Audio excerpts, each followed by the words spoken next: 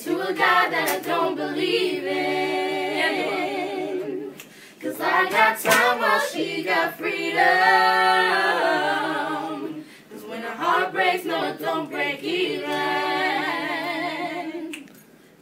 What am I supposed to do when the best part of me was always you? And what am I supposed to say when I'm all choked up? Think you're okay?